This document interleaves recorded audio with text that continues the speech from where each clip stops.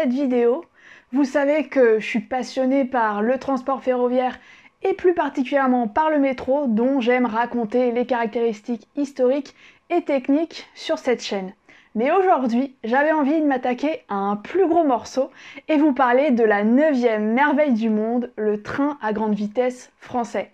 Et oui, la neuvième, parce que la huitième merveille du monde, c'est bien sûr la ligne 6 du métro de Paris. Si je souhaite parler du TGV aujourd'hui, c'est parce que sa genèse et son développement concentrent tout ce que j'aime entre technique, innovation et performance. Vous allez voir que lors de la conception du TGV, rien n'a été laissé au hasard parce que quand on souhaite allier vitesse et sécurité, chaque détail compte et peut s'avérer décisif. L'histoire du TGV, c'est un peu comme celle des champions et championnes de natation qui racontent que la texture du maillot de bain ou le positionnement des doigts de pied influent sur leur vitesse. Parce que quand on souhaite atteindre la grande vitesse ferroviaire et battre les records mondiaux sur rail, c'est pareil. Il a presque fallu oublier tout ce que l'on savait sur le train ordinaire ou du moins repenser tout ce qui fait une ligne ferroviaire et c'est ça que j'adore. En bref, quand je vois un TGV, je ressens toujours une immense joie et j'ai toujours des étoiles dans les yeux.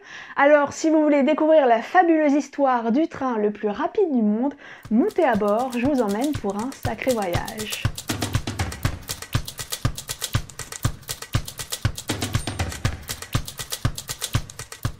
Les premières discussions autour de l'idée d'un train à grande vitesse français remontent aux années 60 après que le Japon ait ouvert la voie ouvert la voie, avec son Shinkansen, un train express qui file jusqu'à 210 km/h.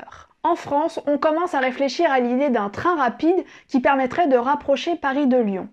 Dans le même temps, la SNCF vient juste de mettre au point un turbotrain expérimental nommé TGS. Turbotrain, c'est pas juste un nom rigolo et futuriste, ça fait surtout référence au mode de propulsion du train qui est inspiré de l'aéronautique. Et oui, en effet, ce TGS est un train fonctionnant avec des turbines à gaz quasiment identiques à celles des hélicoptères super frelons. Ce type de moteur thermique semble alors adapté au rail parce que, contrairement au moteur diesel classique, il a l'avantage d'être léger et puissant à une époque où l'électrification des lignes n'est pas encore généralisée. Il est rapidement testé et approuvé et il sera rapidement déployé sur plusieurs lignes au cours des années 70. Et donc, quand les ingénieurs de la SNCF commencent à réfléchir à l'idée d'un train rapide, ce sont ces mêmes moteurs qui paraissent les plus adaptés au projet de grande vitesse. En 1967, la SNCF décide de commander un prototype de turbotrain à grande vitesse TGV 001 et si les essais s'avèrent concluants, d'enchaîner avec un TGV 002 encore plus ambitieux.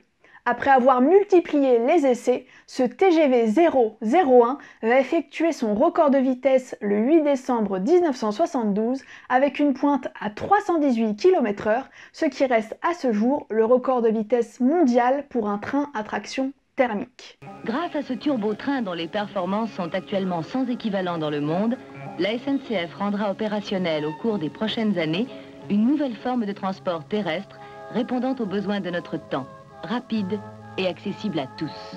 Ces essais vont se poursuivre en 1973 et être riches d'enseignements pour les ingénieurs qui vont constater que ce qui a été projeté sur le papier fonctionne en situation réelle. Sauf que, vous le voyez venir, un événement imprévisible va mettre un terme au rêve de la grande vitesse en traction thermique, c'est le crash pétrolier d'octobre qui va obliger les ingénieurs à prendre en compte une variable jusque-là non déterminante, la consommation énergétique du train. Parce qu'un train à grande vitesse avec des turbomoteurs, ça consommait quand même 600 litres au 100 km. Alors, je vous laisse imaginer l'impact écologique si le turbo TGV avait été généralisé.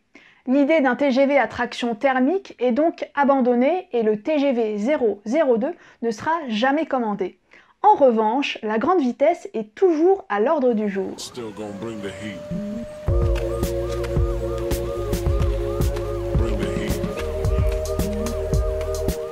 En 1974, le Premier ministre Pierre Mesmer confirme le projet de construction d'une mine à grande vitesse Paris-Lyon. Si ça nous paraît être une mesure de bon sens aujourd'hui, en revanche à l'époque, le train était complètement désavoué par les passagers et même par l'industrie ferroviaire qui ne croyait pas du tout à l'émergence d'un train à grande vitesse. Les ingénieurs vont malgré tout reprendre le travail avec un nouveau défi technique, adapter la traction électrique à la vitesse élevée. Ça signifie surtout mettre au point de nouveaux moteurs électriques et non plus thermiques et adapter le captage de courant à grande vitesse sans risque pour la caténaire.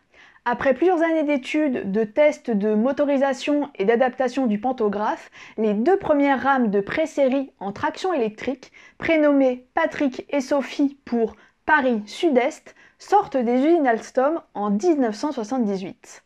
Finalement, en février 1981, après plusieurs mois d'essais et de tests, la SNCF bat le record mondial sur rail, cette fois-ci en traction électrique, avec la rame numéro 16 qui pointe à 380 km/h. 80. Nous avons atteint 380 km/h sur la rame.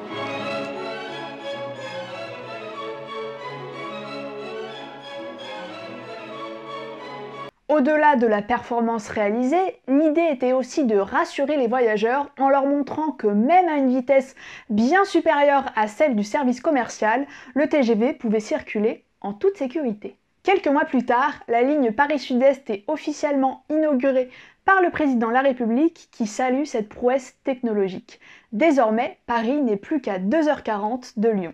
C'est donc le début d'une véritable épopée pour la grande vitesse entre mise en service de nouvelles lignes et conception de matériel roulant. Mais si je commençais à tout raconter aujourd'hui, c'est pas une vidéo YouTube que je ferais, mais un documentaire de deux heures. Alors maintenant, j'aimerais revenir sur tous les éléments techniques qui composent une ligne à grande vitesse et détailler un peu tout cet écosystème très réfléchi et très pointu.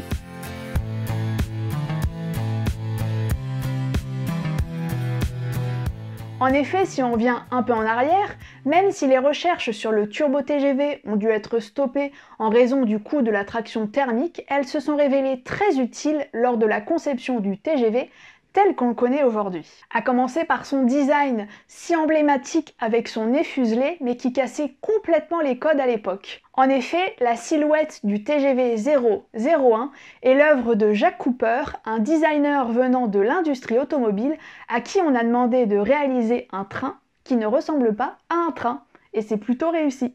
Parce qu'à l'époque, on voyait plutôt circuler des trains qui ressemblaient à ça ou à ça, bien loin de la carrure élancée et aérodynamique du TGV qui laissait déjà présager de ses envies de grande vitesse. En plus du design, ce nez effilé est pensé pour être aérodynamique et donc limiter l'inconfort acoustique lié au frottement de l'air contre le train qui sera très fréquent sur les lignes à tunnel comme la ligne Atlantique. On a également gardé l'idée de voitures avec intercirculation contrairement aux trains de l'époque qui tractaient des voitures distinctes. En outre, l'emplacement des roues a été conservé depuis le prototype 001. Ça peut paraître anecdotique, mais en fait, ça a vraiment son importance. En effet, pour le TGV, on décide que les bogies, c'est-à-dire les chariots portant les roues, seront placés au niveau des intercirculations et non plus au milieu des rames. Cette idée a plusieurs avantages. D'abord, mutualiser les bogies permet de réduire le poids du train et un train plus léger, c'est un train moins lourd à tracter et donc qui consomme moins d'électricité. En plus, dans cette configuration, il n'y a pas de siège installé au-dessus des roues, donc les passagers ne sont pas incommodés par les secousses de roulement. Et puis, en cas de déraillement, ça évite que les voitures s'entassent les unes sur les autres, car l'espace entre chacune d'elles est vraiment très réduit. Vous voyez que le simple positionnement des roues peut changer beaucoup de choses quand il s'agit d'optimiser le trajet. En bref, du point de vue du matériel roulant, tout a été pensé, testé, ajusté pour permettre de rouler à vitesse maximale, c'est-à-dire 260 km/h à l'époque, dans de bonnes conditions de sécurité et pour un niveau de confort acceptable pour les voyageurs. Mais la conception du train, c'est juste une partie de la grande vitesse qui suppose également la mise en place d'infrastructures dédiées à la vitesse élevée. D'abord, je vais commencer par vous parler d'un de mes sujets préférés, les voies et plus particulièrement les voies TGV qui ont été conçues sur mesure pour la grande vitesse. Parce que c'est vrai quoi, on peut se demander bah, pourquoi le TGV a besoin d'une voie réservée qui est distincte des voies ordinaires pour pouvoir rouler à pleine vitesse Eh bien d'une part, si le TGV roulait à pleine vitesse sur une voie ordinaire, vu qu'il y a des milliers de trains qui circulent en France chaque jour, il aurait vite fait de rattraper les TER et autres trains du réseau qui roulent à vitesse réduite juste devant lui, Sans parler évidemment des conséquences sur la sécurité. C'est un peu comme si on autorisait des voitures à 50 km/h sur l'autoroute. Ça ferait complètement échec à l'idée de la voie rapide. Et donc, la voie TGV, c'est avant tout une voie réservée qui ne voit circuler que des trains à grande vitesse pour une circulation fluide et sans risque. Mais la voie TGV n'est pas seulement une voie réservée à certains trains, d'un point de vue technique, elle est aussi adaptée. Déjà, le tracé est conçu pour qu'il y ait le moins d'obstacles topographiques possible. En fait, le TGV roule bien quand il est sur une voie droite, éventuellement un peu pentue, mais avec de larges courbes pour s'engager dans les virages en toute sécurité. Ensuite, concernant l'alimentation électrique, la caténaire sur laquelle le train va capter l'électricité par le biais du pantographe est plus tendue que sur les voies ordinaires pour éviter une déconvenue dont je vais parler tout à l'heure. Les voies ont donc été spécialement conçues pour un matériel roulant lui-même très optimisé, mais il nous reste encore un point à aborder. Parlons en effet de la signalisation parce qu'on touche là à un point essentiel de la grande vitesse. En effet, ce qu'on considère comme ligne à grande vitesse, c'est une ligne conçue spécifiquement pour rouler à plus de 250 km/h. Sauf qu'à cette vitesse, les conducteuristes ne sont plus en mesure d'observer à l'œil nu les informations de circulation qui sont placées au bord de la voie. Il a donc fallu mettre en place un système de signalisation embarqué à l'intérieur de la cabine qui transmet les informations de circulation indispensables directement au conducteur ou à la conductrice. Ce système, ça s'appelle la TVM, transmission voie-machine, qui collecte les informations au niveau de la voie avec des capteurs qui sont situés sous le train. Les conducteuristes vont donc voir d'un coup d'œil la vitesse à respecter en fonction de la portion du trajet. Et puis si le train dépasse la vitesse maximale autorisée, le freinage d'urgence sera automatiquement enclenché. Maintenant que je vous ai présenté l'ensemble du système à grande vitesse, vous voyez qu'il y a énormément d'éléments techniques à prendre en compte pour permettre le fonctionnement du réseau. Et un aspect très important du réseau TGV que le voyageur ne voit jamais, c'est la maintenance du matériel roulant et des infrastructures. Même s'il y aurait énormément de choses à dire sur le sujet, Aujourd'hui, je voudrais surtout m'arrêter sur un petit bijou de technologie.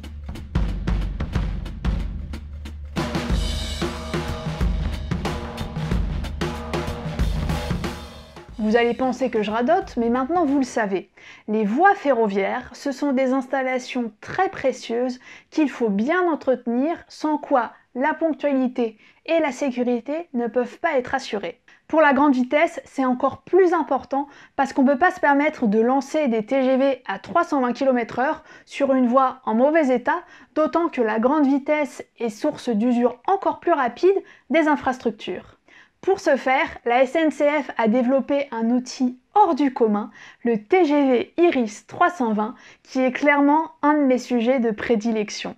Iris 320, c'est un train un petit peu particulier qui ne transporte pas de voyageurs mais a une seule mission, parcourir le réseau ferré au quotidien pour surveiller les voies et détecter les potentielles anomalies. Iris, c'est pour inspection rapide des installations de sécurité et 320, c'est pour la vitesse puisque l'idée est d'observer les voies dans les conditions normales de circulation des TGV. En bref, c'est le véritable œil du réseau. œil, iris, ouais, si de prime abord il ressemble à tout ce qui est de plus classique en termes de TGV, en revanche à l'intérieur pas de siège mais des capteurs, des caméras et des postes de contrôle pour suivre les mesures en direct. Il y a même des chambres, des douches et une cuisine parce que c'est là que les ingénieurs passent tout leur temps quand ils font leur tournée d'inspection. Concrètement, le TGV est truffé de capteurs et caméras au niveau de la voie pour mesurer tout ce qui se passe et identifier les éventuelles défaillances. Qu'il s'agisse de la géométrie de la voie, de l'usure des caténaires, du captage d'électricité ou encore des télécommunications, tout est enregistré pour déterminer où il faut intervenir ou pas pour des travaux. Et je sais pas pour vous, mais moi ça me rend tellement heureuse de savoir qu'il existe un TGV unique au monde qui a pour seule mission de s'assurer que tout fonctionne sur les 3600 km de voies à grande vitesse. Le TGV Iris 320 a un planning très précis et il parcourt toute la France, mais pas seulement, puisqu'il s'accorde aussi des balades en dehors des frontières, sur le réseau belge ou même dans le tunnel de la Manche. Maintenant, vous l'avez compris, l'avantage d'avoir un TGV dédié à la surveillance du réseau, c'est qu'il peut s'insérer aisément dans la circulation des TGV ordinaires sans les perturber et sans avoir à circuler la nuit. Maintenant que je vous ai expliqué dans les grandes lignes, les grandes lignes, que le TGV est une technologie maîtrisée, performante et ultra sécurisée, eh ben on peut se demander pourquoi il ne roule pas plus vite.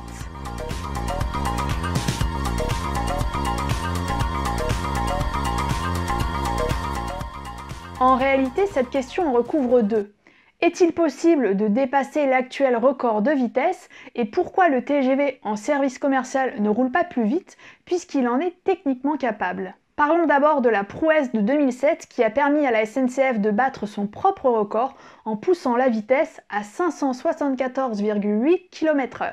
Déjà, elle n'a pas été réalisée avec n'importe quel train, mais avec un TGV spécialement conçu et modifié pour la très très grande vitesse. Il est constitué de deux motrices et seulement trois voitures. Les moteurs sont surpuissants. Les roues sont plus larges pour justement ne pas trop user les dix moteurs. Et concernant la voie, la tension la caténaire est augmentée et surtout, elle est surtendue. Vous avez bien dit qu'on allait en reparler. En fait, le TGV parvient à capter l'électricité par le biais de son pantographe qui vient frotter la caténaire, le fil aérien, au-dessus du train. Sauf que les ingénieurs ont très vite constaté un problème physique qui limite et rend délicate la très grande vitesse. Parce qu'avec le frottement du pantographe, le fil de la caténaire, lorsqu'il est tendu normalement, produit une onde qui se propage à 500 km/h environ. Et le risque, si le train lui-même se déplace à plus de 500 km/h, bah, c'est qu'il dépasse la vitesse de l'onde et que concrètement le pantographe perd le contact avec la caténaire, ce qui peut entraîner de forts dommages matériels. Ce problème physique, ça s'appelle le mur de la caténaire, qui pourrait donc causer des arcs électriques et des arrachements de câbles, qui sont quand même assez fragiles. Et donc, si on voulait battre le record de vitesse, il faudrait à nouveau concevoir et modifier un train spécifique, et puis pousser encore plus les limites physiques des installations électriques, avec tous les risques que ça représente. Il faut d'ailleurs noter que le dernier record s'est établi sur la ligne LGV Est, avant son inauguration, ce qui a permis de bénéficier des infrastructures toutes neuves qu'on a poussées jusqu'au maximum. Concernant le service commercial, on entendait parler il y a quelques années d'un projet de TGV à 360 km/h. Bien sûr, c'est techniquement possible puisque là, on est bien loin du problème du mur de la caténaire. Par contre, c'est plutôt au niveau des infrastructures que ça coince. D'une part, ça demande la construction de nouvelles voies réservées avec des courbures encore plus larges, car par exemple, la portion Paris-Lyon est limitée à 300 km/h, pas plus. Et puis ça demande également des installations encore plus résistantes, avec des interrogations notamment concernant la durabilité du ballast, qui n'est peut-être pas adapté à 360 km/h. Idem pour la caténaire, car en dehors des records mondiaux que je viens d'évoquer, on limite volontairement la vitesse de l'onde de la caténaire à 350 km/h, ce qui suffit à garantir un bon contact entre le pantographe et les câbles aériens, tout en limitant l'usure. Et donc, si on voulait augmenter la vitesse du train, il faudrait également mettre les installations électriques à rude épreuve. Et puis, ça accentue les défauts du TGV parce qu'à cette vitesse, le bruit dominant, c'est le frottement de l'air contre le train qui est beaucoup plus difficile à atténuer que le bruit de roulement. En bref, les 360 km/h sont techniquement possibles, mais pas forcément opportunes vu les investissements que cela représente pour seulement quelques minutes de trajet en moins.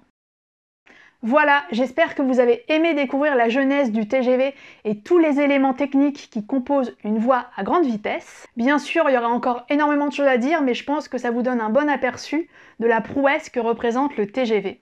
Si ça vous a plu, bah, n'hésitez pas à commenter et surtout partager autour de vous pour que le plus grand nombre découvre la beauté du transport ferroviaire. Moi j'étais ravie de vous parler enfin d'un sujet qui me trotte dans la tête depuis que je suis allée voir Patrick, le tout premier TGV à Gare de Lyon au mois de février. Sur ce, prenez soin de vous et moi je vous dis à bientôt dans le métro. Salut